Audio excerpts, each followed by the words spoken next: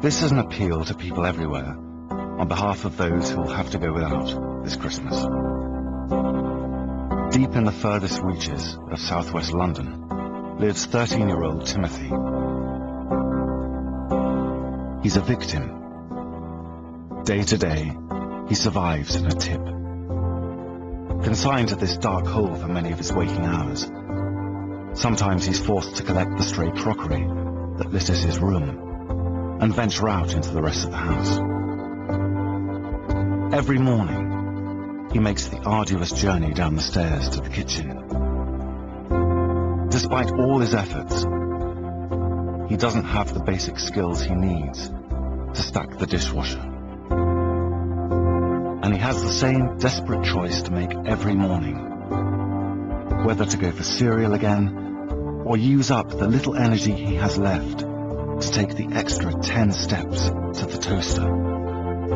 To make matters worse, he knows he could run out of milk at any moment. Now, he faces a Christmas full of uncertainty. This year, he's expecting his parents to give him an Xbox 360 Elite, complete with Halo 3, and a pair of Nike Air Max Remix sneakers but they've already bought him an Xbox 360 arcade from the sales. With the wrong game.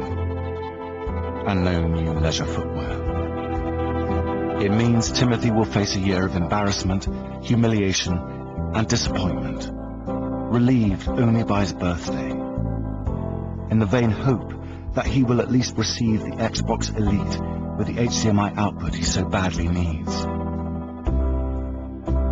But for Timothy, as for so many like him, the sad fact is, by next Christmas, it may be too late. A new Xbox may have been launched. No one should have to endure this. So this year, get real. Give something that will be really wanted and really needed to someone who really appreciates